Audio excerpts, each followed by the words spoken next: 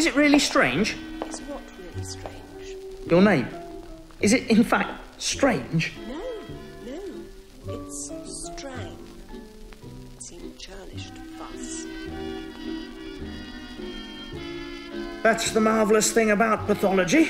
Your patients never die on you and you always get your money. Such as it is. Well, if Miss Strange's typing is as handy as her spelling, we can definitely find a use for her. But thought better of it. How very wise. Well, you're well off out of medicine anyway. Ghastly business.